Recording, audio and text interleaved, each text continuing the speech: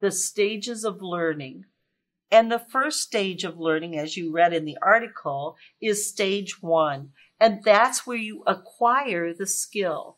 And so the teacher introduces a new skill and by giving concrete example of what the skill is. For instance, I have two puppets here. And using puppets is a good way for children to see how to how the how the skill could be played out and then also to make suggestions to the puppets.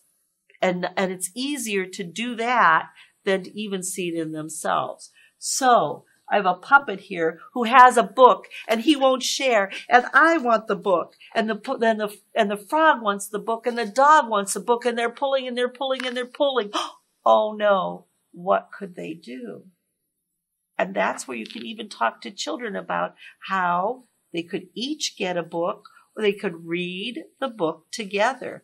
They could share the book and read the book together. And using puppets or play acting is a good way for children to, look at it and make suggestions. So teaching the skill, showing and telling the skill.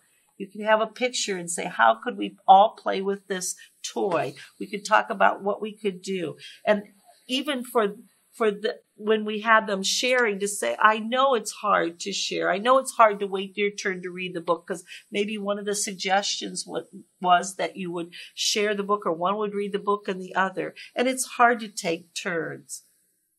Then the second stage is to build that skill so that it's fluid, so children understand that and it's practice makes perfect and, and that you could practice it and talk about it and when you take a few minutes and practice those skills w- without doing it in the moment where children are upset, you've already practiced it, helps children understand that they can learn these skills and that they practice them and be ready when a, a situation comes up.